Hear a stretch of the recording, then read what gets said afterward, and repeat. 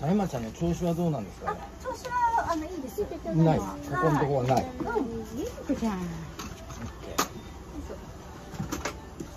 茶山ちゃん。あれ4キロいきそうあでもこの間も30今結構散歩にたくさん行ってるからもうちょっと減らない。あーちょっと今ちゃダメお座りお座りして3800ぐらい出てるかと思った。ら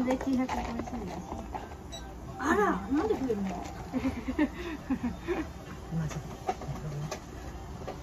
あれほら先生これ増えるよ今気づいた。え結構散歩行くようになったんだけどすぐには減らないの食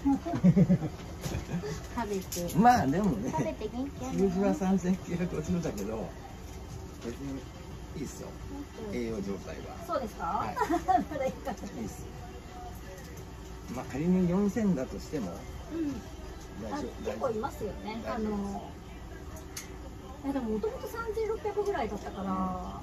いやまあ適度に運動してここのここの筋肉とここの筋肉とね、うん。痩せあとここの筋肉ね、はい。ね、芸いっぱいして、ね芸いっぱいしてる。方いるね。ねいっぱいしたね。今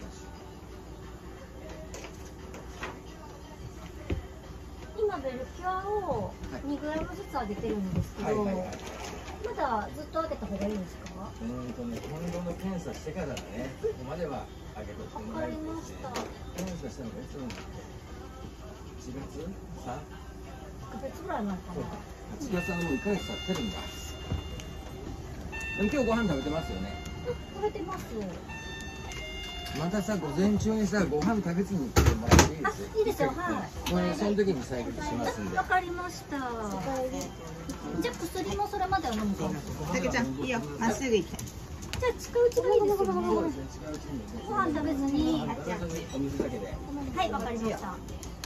ちょいちょ。いちょい。